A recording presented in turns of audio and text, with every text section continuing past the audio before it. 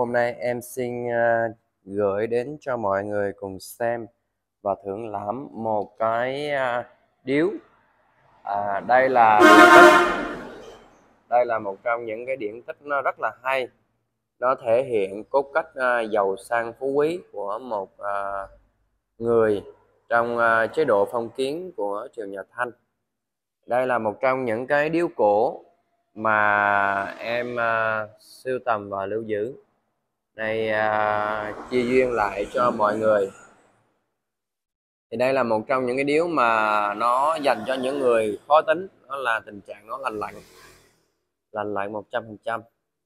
À, điếu này là cái điện tích nó là tích uh, phú quý bạc đầu mà nó vẽ những cái uh, riêng về nói về nét vẽ thì có cách uh, cái này nó nó đẹp hơn giá trị hơn.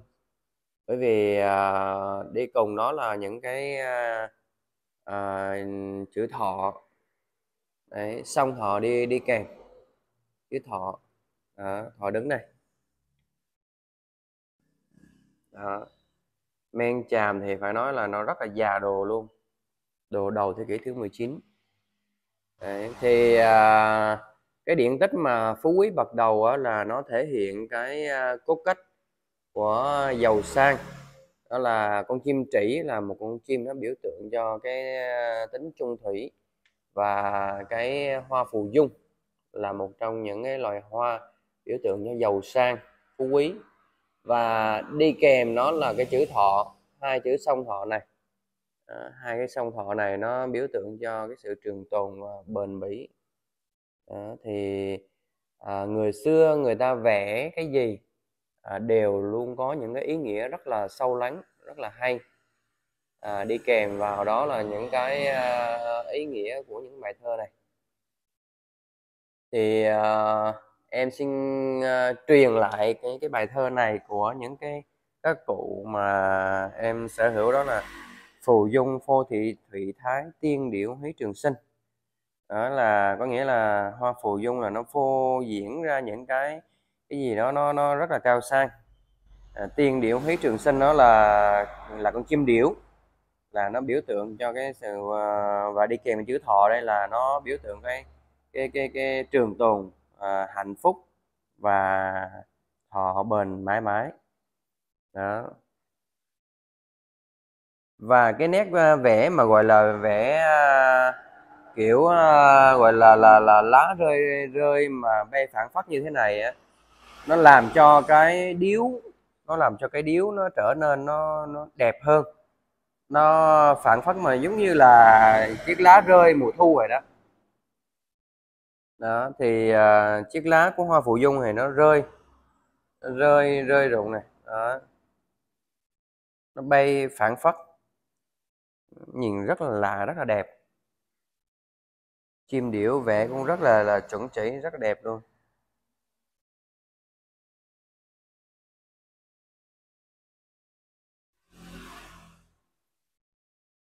Ở đây là cái ló ở trên. Và đây là cái viền chôn. Hiệu đề bốn chữ. À, hiệu đề bốn chữ nhưng mà chữ gì thì hiện tại em à, nghe các cụ nói thì thành hóa ngọc ký. Nghe các cụ nói thành hóa ngọc ký nhưng mà không biết là có đúng hay không. Nếu mà các bác à, dịch được thì nó là một cái cái hay cái giá trị món đồ.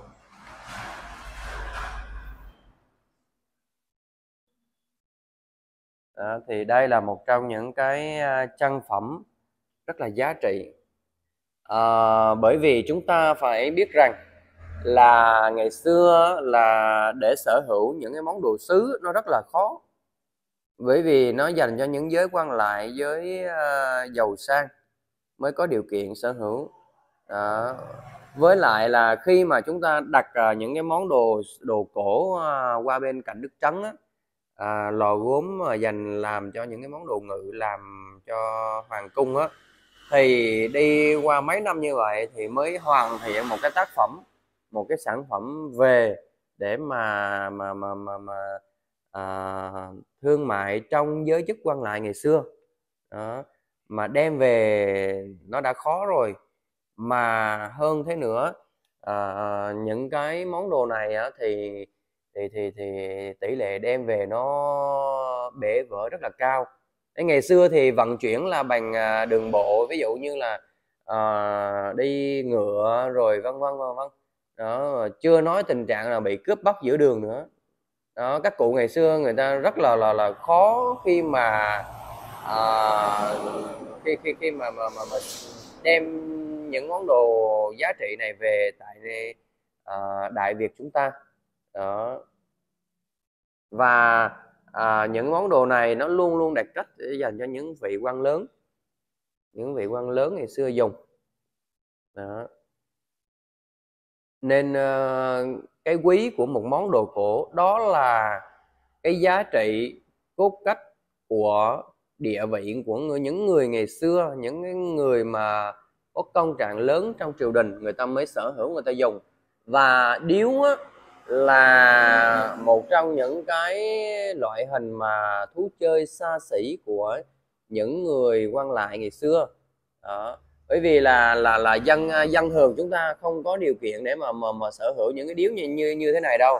Nếu như mà dân thường á là nếu như mà muốn hút được những món món à, hút thuốc lào á là đa phần là những cái dòng như là à, gốm à, gốm đất nung à, nó rẻ tiền hơn hay là những cái điếu bằng đồng hay là những cái điếu bằng gỗ vân vân. Đó còn cái điếu đồ sứ là à, tại sao nó còn nguyên vẹn? Bởi vì là ngày xưa các cụ là à, sở hữu những cái điếu này về là để chân ở trong tủ. À, năm thuở mười thì khách quý hay là có đại tiệc lớn trong gia đình thì mới lấy ra dùng à, dùng xong thì lại đem đem cất ờ, cất ờ, ở một cái nơi khác đi. À, thì chính vì thế thì cái nước men cái nước men bóng bên ngoài nó nó nó nó các cụ ngày xưa vẫn còn giữ nói chung là tương đối nó là là là là là, là khá tốt. Tương đối gọi là khá tốt. Đấy thì chúng ta thấy đây nè em quay kỹ này các bác xem đấy đó. Nước men vẫn còn còn giữ giữ tốt này. Đấy, ngay cả cái viền trôn này. Các cột chỉnh chu vẫn còn còn còn còn khá là tốt luôn. Đó.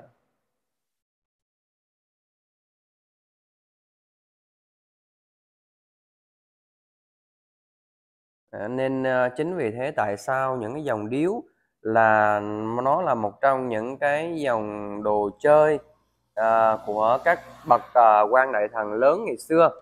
Đó. Và hơn thế nữa bác nào mà yêu thích những cái món đồ cổ à, về điếu như thế này thì cứ kết kết nối gọi điện trực tiếp về với em. À, em xin gửi à, những hình ảnh chi tiết hơn về những món đồ cổ về những cái điếu như thế này. Đó. Và hơn thế nữa tất cả là đều đều được bảo hành chuẩn cổ suốt đời cho từng hiện vật nó cho từng hiện vật ờ, như thế này. Và bảo hành đúng tuổi đúng cổ đúng niên đại và bảo hành luôn cả cái giá mua để cho các bác an tâm hơn khi mà chúng ta sở hữu được những món đồ cổ vừa chuẩn chỉ này vừa là à, bảo hành được cái giá mua. Có nghĩa là các bác được chơi được siêu tầm được thương mại được trao đổi được mua bán ở các nơi khác lợi nhuận các bác lấy. Đó lợi nhuận các bác được hưởng. Và nếu như các bác không có nhu cầu sở hữu nữa thì gửi lại về với em. Cam kết gửi trả lại đủ tiền 100% cho từng cổ vật như thế này. Đó thì em luôn luôn tạo cho các bác một cái môi trường cổ vật lành mạnh à, đàng hoàng chuẩn chỉ để cho các bác à, mình không phải va vấp những cái món đồ giả cổ ở bên ngoài. Đấy, không phải va vấp những món đồ giả cổ và trả một cái học phí nó rất là cao. Khi mà chúng ta bỏ ra cái số tiền lớn mà mua nhầm những món đồ giả thì nó cảm giác nó rất là uất hận rất là tức. À, nên chính vì thế tại sao những cái dòng đồ cổ à, là càng ngày á, là nó càng ra những cái cái cái cái cái cái mô tiếp những món đồ giả cổ nó nó rất là tinh vi. Để với cái mục đích là nhằm để để lừa à, những người mà thiếu đạo đức người ta sẽ lừa à, những nhà siêu tầm có tâm. Để rút ruột à, lấy đi những cái đồng tiền xương máu. Đấy, nên chính vì thế em muốn tạo cho các bác một cái môi trường đồ cổ à, lành mạnh chuẩn chỉ và đẹp và giá trị. Đó, bác nào yêu thích thì cứ gọi điện cho em để mà mình được uh, hữu duyên những cái món đồ cổ uh, chân chính giá trị Đấy. thì bác nào yêu thích thì cứ uh, inbox gọi điện hoặc kết nối zalo để mà em trao duyên gửi về tận nơi cho các bác để các bác an tâm mình sưu tầm những cổ vật như thế này